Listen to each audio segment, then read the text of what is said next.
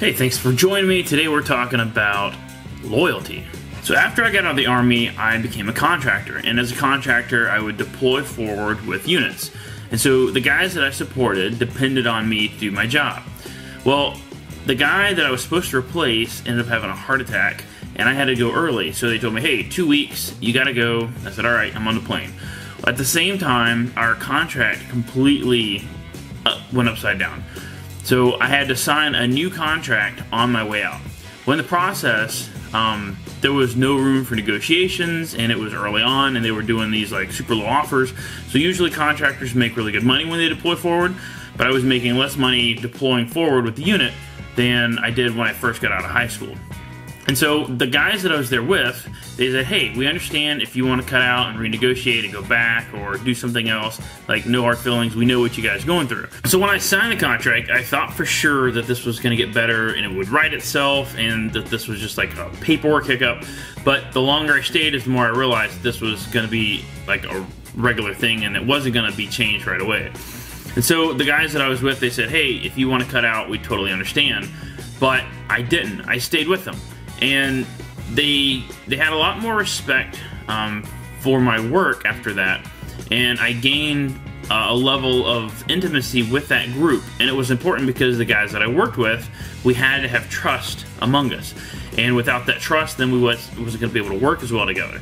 And so, because I stuck it out when it was hard, then I gained favor with those men that I was working for and working with. And it wasn't just because they were getting a product or service cheaper, but it was because of the loyalty that I showed through my actions.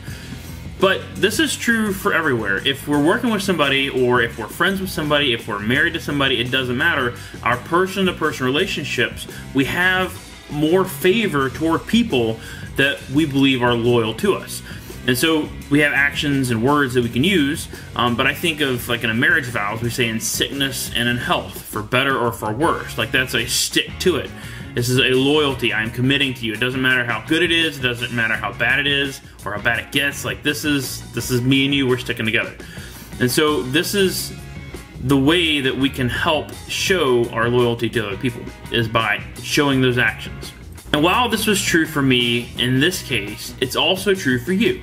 That if you show yourself to be loyal, then you will gain favor.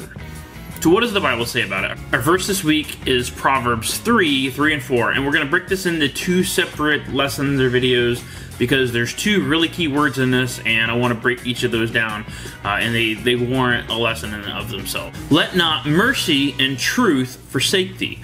Bind them about thy neck Write them upon the table of thine heart. So shalt thou find favor and good understanding in the sight of God and man.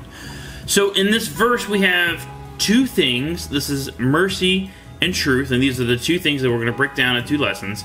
And then if you bind these around your neck and write them on your heart, internalize them, then you will find favor and good understanding in the sight of God and man. So these two things, if you internalize them, then you will get these things or receive these things, or this will be the result. And Proverbs is a very practical book, and it's it's a lot of if you do this, then this is kind of the way that things work. So the two words here, let not mercy and truth, that is let not hesed and emeth forsake thee. These are the two things that you are to internalize and Hesed is what I want to focus on today. This word Hesed is translated in the various English versions of the Bible from Hebrew into kindness, loyalty, love, gracious love, loving kindness, and steadfast love. And I think steadfast love or loyalty is probably the two, but it's all of these things like wrapped up together in one word. And so the King James translates uh, translates it as mercy, but this is really a concept of like a family type devotion. And so the word Hesed is used throughout the book of Ruth as a great example. Um, I highly recommend you read chapter 1 and then focus in on verses 16 and 17. And this is as like a narrative example of what Hesed is. And that's, and Ruth said, Entreat me not to leave thee, nor return from following after thee. For whither thou goest, I will go and where thou lodgest, I will lodge. Thy people will be my people, and thy God my God. Where thou diest will I die, and there will I be buried. The Lord do so to me, and more also, if aught but death part thee and me. That is Hesed. It is the loyalty of family that cannot be separated. It is the steadfast love of not cutting out when times get hard. Thanks for joining me.